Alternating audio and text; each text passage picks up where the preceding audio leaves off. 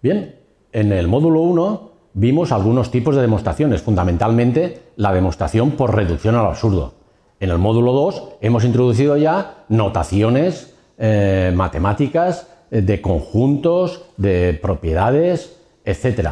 Y ahora vamos a empezar el módulo 3 en el que eh, el objetivo fundamental es introducir y estudiar otro tipo de demostración importantísima en matemáticas que es la demostración por inducción.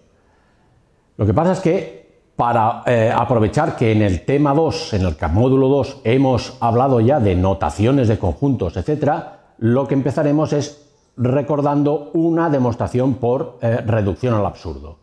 Concretamente, la demostración de la existencia de infinitos números primos. Una demostración que también viene del tiempo de los griegos, o sea que también tiene sus años.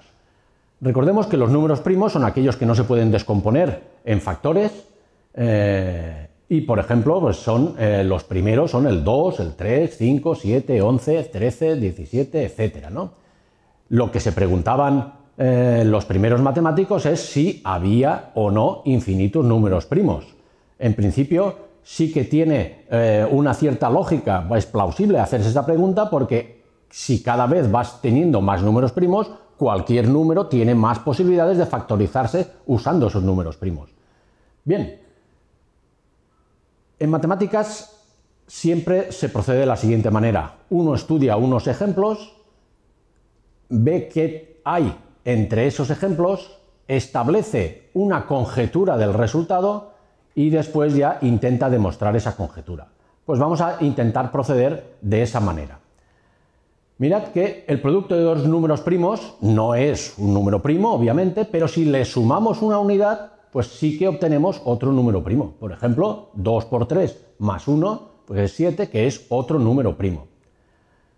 Si lo que hacemos es multiplicar tres números primos, por ejemplo, los tres primeros números primos, pues, y le sumamos también una unidad, obtenemos 31, que es también otro número primo. Y lo mismo pasa siempre que vayamos multiplicando eh, números primos y sumemos la unidad. Por lo tanto, parece que el, resultado es que sí que hay infinitos números primos y que el método de construir eh, una serie infinita de números primos, no todos, pero sí una serie infinita, una sucesión infinita, es precisamente el que hemos visto en esos ejemplos. Multiplicar los que tengas, sumar una unidad y lo que quedará seguramente será un número primo, que es lo que tendremos que demostrar.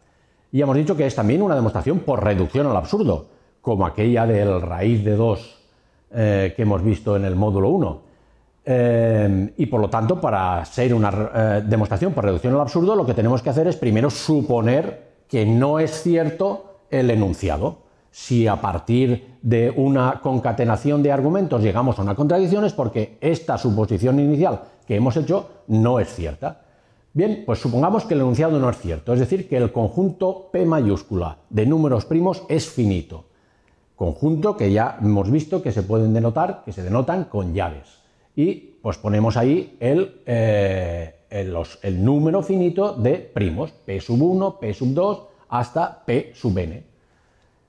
Bien, pues vamos a considerar precisamente lo que hemos visto en los ejemplos el producto de todos esos primos y le sumamos la unidad y, le denotamos a todo el resultado como m. Si demostramos que m es también un nuevo número primo, como este m es un producto de, de factores donde aparece el p sub n y además, bueno, aparecen todos, y además el 1, pues este es mayor que todos esos de ahí y por lo tanto, si demostramos que es un número primo, no estará en este conjunto y habremos llegado a la contradicción.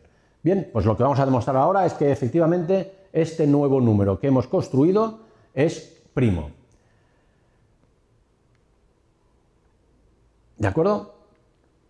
Bien, si no lo fuera, si no fuera primo, eso quiere decir que sería divisible por algún número natural que mm, denotamos por k que será menor que m y mayor que 1.